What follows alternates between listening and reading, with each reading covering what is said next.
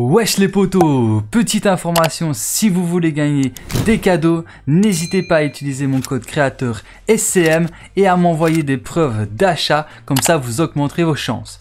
Et sur ce, je vous souhaite à tous une bonne vidéo, let's go Wesh les potos, bienvenue sur ma chaîne YouTube, c'est Cool Mike et dans cette vidéo, je vais vous expliquer comment vous allez pouvoir débloquer la variante de Neymar Junior en match amical sur Fortnite.